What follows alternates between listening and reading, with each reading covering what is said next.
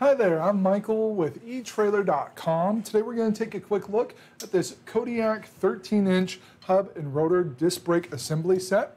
This is going to allow you to upgrade your trailer from drum brakes to disc brakes so that you can take advantage of the superior performance that comes along with having disc brakes on your vehicle. Or if you already have disc brakes and you're just looking for a higher quality finish, uh, this is going to have the Dacromet plate uh, plating on it, so it is going to hold up much better than most uh, finishes, so it is going to be a great option for you as well. Uh, having the two brake assemblies here is going to allow us to upgrade a single 8,000 pound capacity axle with the number 42 spindles. Our rotors are 13 inches in diameter, and they have the 8 uh, 9 16th inch diameter bolts here, the 8 on 6 and a half inch bolt pattern. So these are going to work for your wheels that are 16 inches and larger.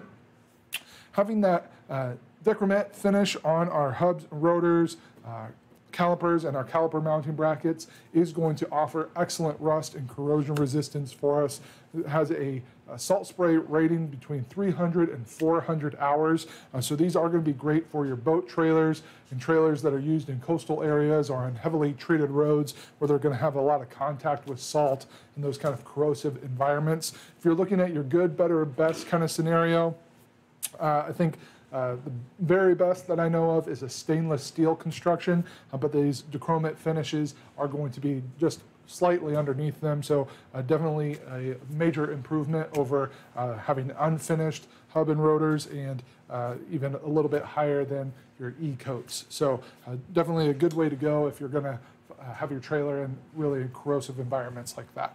So then upgrading your trailer from uh, drum brakes to disc brakes is also going to have several different benefits for you. Uh, you're going to notice a much better performance. Uh, these do have these ceramic brake pads here that help to increase stopping power. They also have a large two and a half inch diameter stainless steel piston that provides fast responsive braking. So you'll notice your shop, uh, your stopping distance is going to be much shorter. These are also going to provide smoother, more controlled braking for you. So it's going to help keep your trailer from pushing and pulling like you're probably used to with your drum brakes. And in addition to better performance, these are also going to require minimal maintenance. So it is going to help save you time and money over your drum brakes. Having the one-piece hub and rotor assembly does reduce the chance of uneven rotor wear.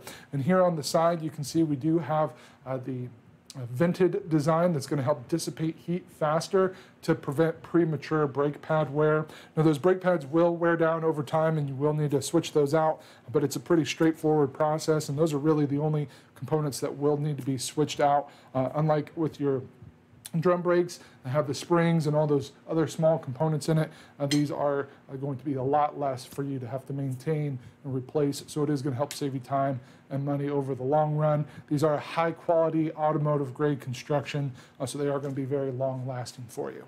Now, one caveat with upgrading from drum brakes to disc brakes is that disc brakes do require a higher line pressure than your drum brakes. Uh, so you are going to need to make sure you have a hydraulic brake actuator and brake lines that are rated for 1500 psi or higher uh, to in order to properly activate these brakes. And if your trailer is already set up for drum brakes, it's pretty unlikely uh, that your system is going to be able to handle that much pressure. Uh, so you will need to uh, get some new components. It might take some doing to get that all switched over for you. Uh, if you don't already have a hydraulic brake actuator and brake lines rated for that 1500 PSI, we do have those available here at eTrailer.com. Obviously, it's not included in this set, so it's not this set isn't going to be everything that you need, uh, but it is going to give you the two uh, plated cast iron hub and rotor assemblies. Uh, it's also going to have the eight 9 16th inch pre-installed wheel bolts on each. We'll get the 16 9 16th inch zinc plated steel lug nuts uh, to hold your wheel in place on there. We also have our two uh, Dacromet plated cast iron calipers. And on the back side here, you can see we've got those uh, two Dacromet plated uh, ductile iron caliper mounting brackets These do have the four bolt brake flange configuration, so they are going to be very easy to get mounted on your axle. Now I do want to point out that I have these uh, displayed on top just for balance purposes, but when you actually go to install these, they are going to be mounted on the side. That side support design puts all the weight on the mounting bracket instead of on your bolts. So it helps your bolts last longer. You're going to get four of these stainless steel caliper mounting bolts, two for each uh, assembly. We are going to have our inner and our outer races pre-installed. We'll also get our inner and outer bearings here to make sure that these are uh, rotating smoothly. This system is lubricated with oil, so we're going to have our inner oil seals, our two oil caps, and we're also going to get uh, one eight ounce bottle of synthetic bearing oil and to make sure that everything's moving around in there uh, without too much friction. So again, if you are wanting to upgrade from drum brakes to disc brakes, or if you already have your disc brakes and you're just wanting a higher quality finish uh, so that your brake assemblies will last longer for you, these are going to be a great upgrade for you. That completes our look for today. Again, I'm Michael with eTrailer.com. Thanks for watching.